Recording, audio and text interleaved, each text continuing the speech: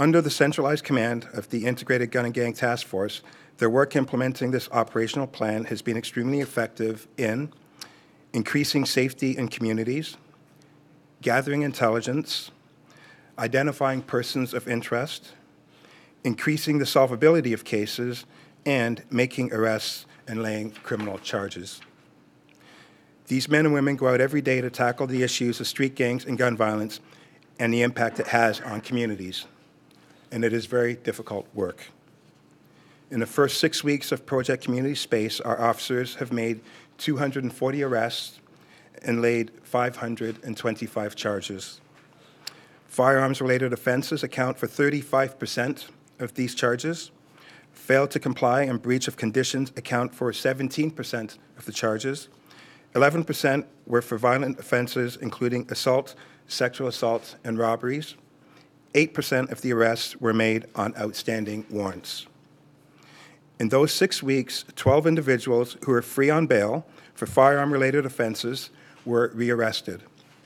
In addition to their failure to comply, they face a variety of new firearm and violent related offenses, including possession of firearms which had serial numbers tampered with, and possession of prohibited and restricted firearms, and assault with a weapon. Over the six weeks, shooting events have decreased 30% compared to the six weeks prior to the start of this project. Time spent by officers on site processing complaints was 15% shorter, allowing officers to quickly move on to the next call.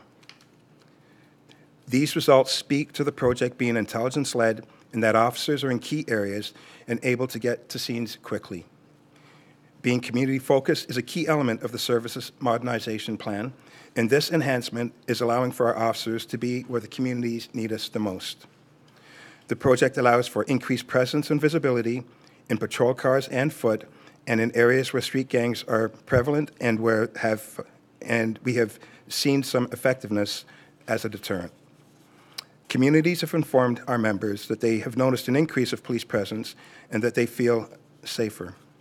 Toronto Police have also made 38 referrals to community agencies, of which 17 were to gang exit programs.